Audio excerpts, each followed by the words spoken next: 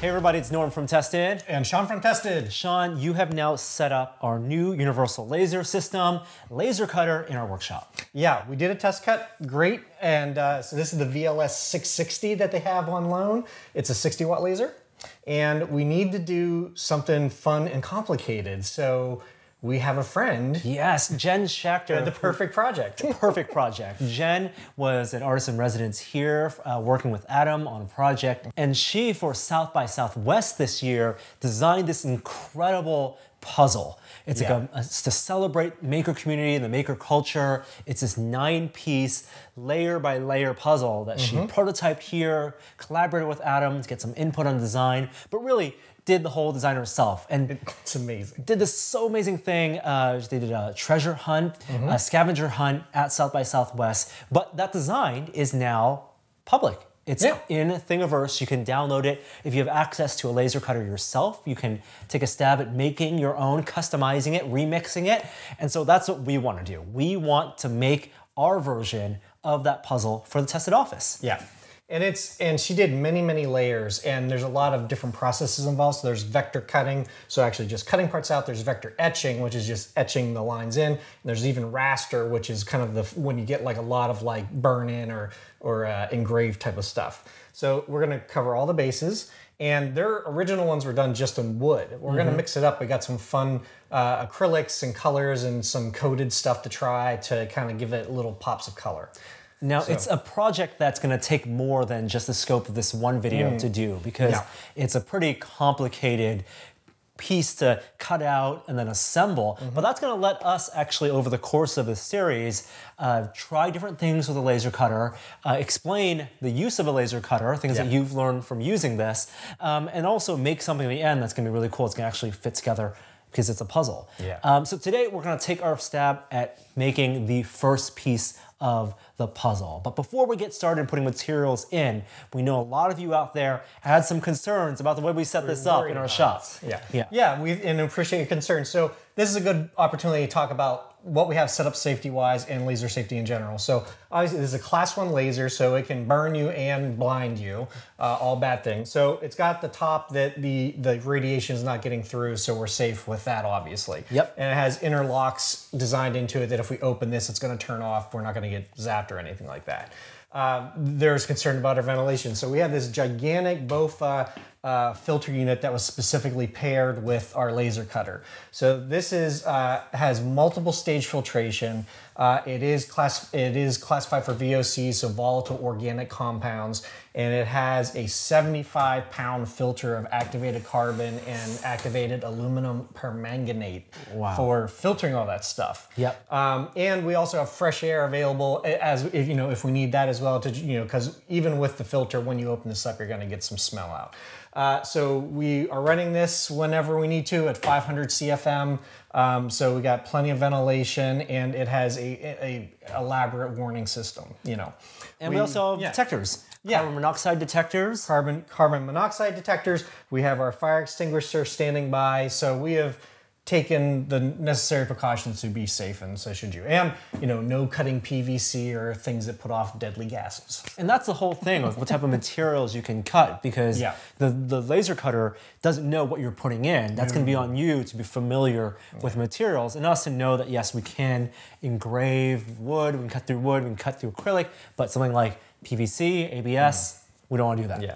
And don't be the guy who is engraving Bic lighters with his laser engraver oh, no. and blew up his garage. Yeah. we, we so, will not definitely right. not be that guy. So so today we're going to be doing a variety of woods, uh, uh, laminated ply- plywoods, and we're going to be doing some acrylics. Awesome. Yeah. And the file we download, like I said, the information is below if you want to, even if you don't have access to a laser cutter, to follow along to see what files we're working with, see how Sean's kind of laid it out to be cut on one sheet of ply, yeah. and then we will be assembling that. So let's get to look at the files, putting our material into the bed, mm-hmm. and getting cutting.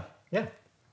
All right, so here uh, we have all of the files that Jen uploaded to Thingiverse. So that, which was very nice of her because this was a ton of work. And they're more or less laid out for laser cutting as is, but we had to do a few tweaks because every laser cutter works a little differently as far as the layout. So these are Jen's original files. She has a, a, a master that she color coded so you can see all the different layers. So each color is a different layer that we glue on.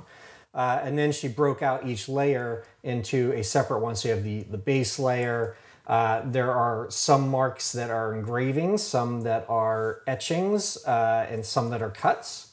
So we just go layer by layer. So what I had to do in the case of Universal is I had to remove this fill color. And then I also had to um, make a specific stroke weight and stroke color, which tells the software what to do.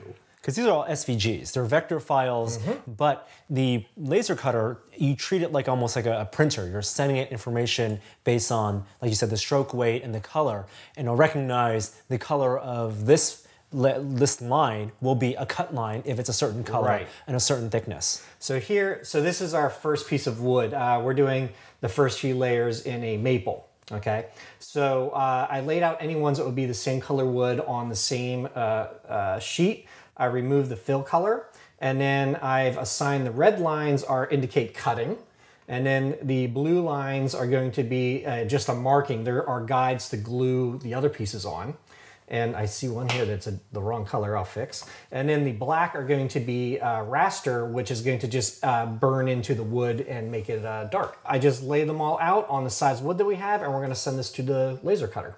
So we got our, uh, we have the 18 by 32 bed, so it's laid out here, and I already know my material size, so that's good, and we have it up in the upper left corner. We're gonna go to the settings. This is my favorite thing about this because having used a lot of different laser cutters, you always have to guess speed and power. And this has this amazing database, so we can we can just go in and pick what we're cutting. You can it's amazing. You can just go through all this. So I think we have a, a maple up first, our maple uh, ply, and then we're gonna go down here, and let's see here maple. And we're going to enter our material thickness. So we have uh, 1 8th inch. And we're going to apply that. And then for the most part, all the other settings are going to be taken care of. We have for the engraving, the cutting, and the raster. And I have found that the settings out of the database have worked well for almost everything. So we're just going to go with it. And now we're ready to fire up the laser cutter.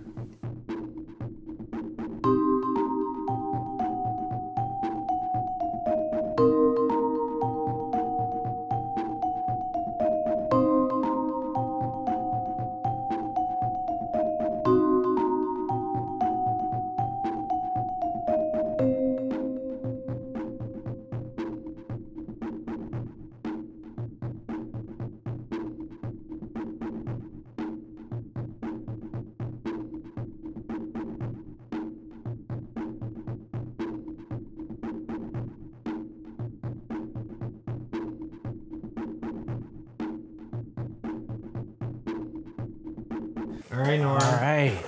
Ooh, that looks so good. I'm very happy with that. And it's very fast. I think my favorite thing is watching the laser etching, which are these just thin lines, which are the markers for where the pieces go. It goes so fast and it sounds really cool and it does it too. All right, So, so yeah, so we've vended, uh, we're good to go here. Open the lid here, Mm -hmm. and it's very clear. Yeah, three passes. First pass was the engrave, took the longest, which is all that. You can see lot a of burning little bit of burn, scorch, scorch marks because we don't have any sheet protecting here. Yeah. So yeah, and the scorching now normally a trick to do is you put uh, masking tape down over the top of it, and that will prevent scorching. Um, we just right now we didn't have the big masking, so next time we'll do that.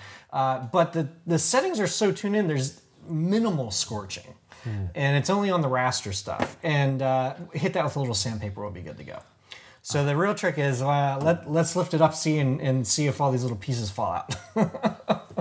All right, let's see if it cut all the way through. Oh, Beautiful. Sweet. Got one screw, but I think that's just stuck friction wise. Boop. Yeah, there you go. There you go. So, Wow. yeah. That already gives me a sense of how much assembly this is going to take because if you imagine these are just three layers, all of these pieces fit on top of here. That gets put on top here, and then there are more cuts, Yeah. more passes we have to do. But you can see, like, even look at like things like this. You can see the teeth on this Japanese saw. That is crazy. Yeah. Yeah. Okay, Sean, all the pieces for puzzle piece one Mm-hmm. have now been laser cut. Technically it's puzzle piece five. Puzzle piece five. We're not going in order, but that's okay. It was still our but favorite it, one. it had a Lego on it, so we had to. Yeah. Yeah. So How many total individual cutout pieces are there uh, here? it's over 55. I kind of did a rough count. It's it's well over 55. Um, but everything cut really nicely. Jen did an amazing job on this. I particularly like the etching lines to show you where to line up everything on the, the top piece. So we're like to recap quickly, there are three different types of passes that Mm-hmm. on each of these layers. Uh, there's the raster, which gives you really nice engraves, Mm-hmm. a really a really thick.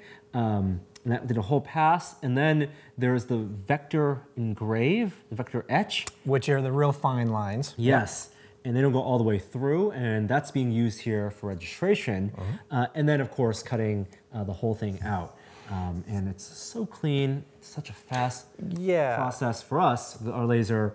Uh, but of course, there's going to be the assembly. Yeah, and we also we should point out that uh, um, we had talked earlier about the fact that you normally like put some tape or something over top, which prevents scorching. In fact, we have one of the Lego pieces here that uh, it has the paper backing on it, and we left that on because it prevents scorching on the the plastic and protects it, and then you peel it off afterwards. Now we didn't have that on the wood, so you can see, but the settings are so close. There's very minimal. So what I find, I just use some uh, fine grit sandpaper, and if you just like hit these spots really quick, I'm not gonna do the whole thing, but you get the idea. And then just a little brush off here, Yeah. you know, it really cleans up. And I did this half already, Right. and so it doesn't take much at all to get it. Oh, that got rid of it completely. It Yeah. doesn't take off the finish of at least this Yeah. sheet of wood. Um, again, that's a testament to their catalog of the material database. Yep. Um, and it's really aligned to this material, which you know we just bought at The- I think the only tweak that I had to do was um, the paper that was on this acrylic seemed a little thicker than what I'd normally see, and to get the etching on the Lego pieces, I had to up the uh, the um, the raster power a little bit, Mm-hmm. but that was no big deal. So our remix of this puzzle piece design is using not just wood. So we use uh, blue acrylic, and we're having an accent piece for each. Um, do we have a second accent piece? Mm-hmm. Oh yeah, I found this stuff that I really wanted to try out. This is uh, dual layer acrylic. Mm. So it has a really thin layer of yellow on top, and then the core is black. So basically, burn through the top layer due to the, it's the uh, screwdriver handle. So I thought that was another nice little touch. Now this is a these are a different power. So this is like a lower setting. It didn't quite go the whole way through the yellow, and this is a, a really heavy setting. So it like really made the black pop. I like the I like this one. I think. And to put it all together, you could use wood glue. We're actually, just for expedience sake, we're gonna use super glue. See how it works? Will Yeah. totally work.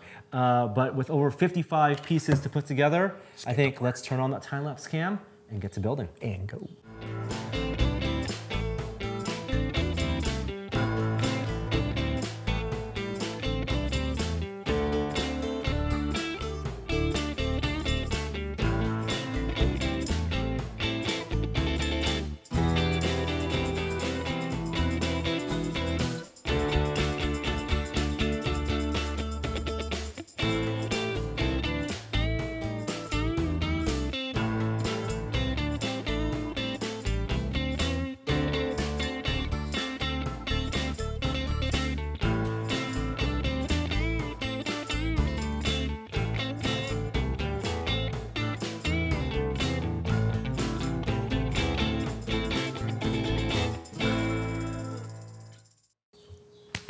Look at that. It's beautiful. It is so awesome. Yeah. Um, very inspired choice getting the acrylic pieces. I like that. Yeah, the little pop. Yeah, pops of col- of color. And in building the future puzzle pieces, there are eight more of them.